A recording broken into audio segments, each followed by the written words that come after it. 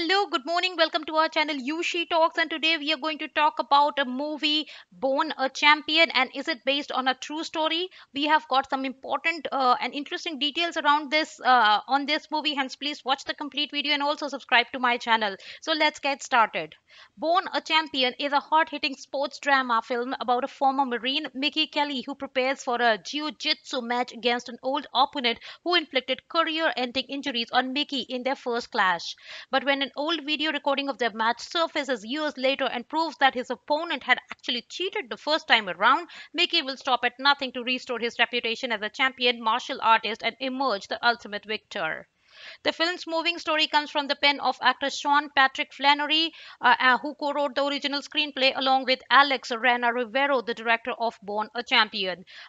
Flanery also stars as the protagonist Mickey Kelley. The movie also features the acting talents of Dennis Quaid and Katrina Bowden. In Born a Champion movie, both of uh, Flanery's actual sons play Mickey's son at different ages. The movie is shot like a documentary with Mickey's best friend Roscoe narrating the story in the form of an interview. Uh, Born a Champion is an inspiring tale of redemption, but is it based on a real life story? Let's find out. So the question is, is Born a Champion based on a true story?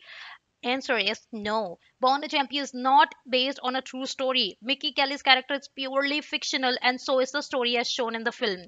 The makers of Born a Champion have never claimed that this is a story uh, this is a story rooted in reality although some parts of the screenplay do take inspiration from Sean Patrick Flanery's real life. The Louisiana-born Texas-raised actor is a real uh, real life black belt in Brazilian Jiu-Jitsu, a self-defense martial art and full contact combat sport that's based on grappling and submission holds and does not feature kicks and punches. Flanery wrote the original story for Born a Champion back in 2007 and then developed the screenplay in 2016 with Alex Ranarivelo.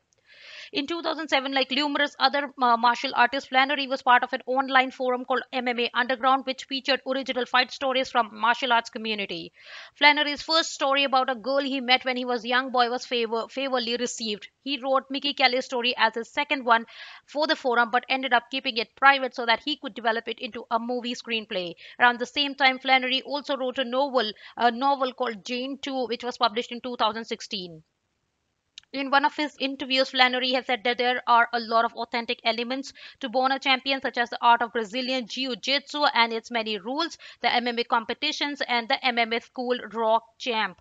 Reportedly, Raw stands for Real American Wrestling, and it is used to be uh, it used to be an academy based in San Pedro. In reality, Flanery performed all his fight scenes in the movie himself, and he did not even have to prepare for the role in terms of how he wanted his body to look because he practices Jiu-Jitsu every day in his regular life, and he is not not filming, Flanery already had the body of a man who fights on a daily basis. It may not be based on a true story, but Born a Champion is certainly a love letter to Brazilian Jiu-Jitsu from its longtime practitioner, Sean Patrick Flanery. So that's all we have in today's uh, news about uh, Born a Champion. Please keep watching this space and also subscribe to my channel. Thank you for watching me and being with me so far. You have a wonderful day ahead. Bye-bye.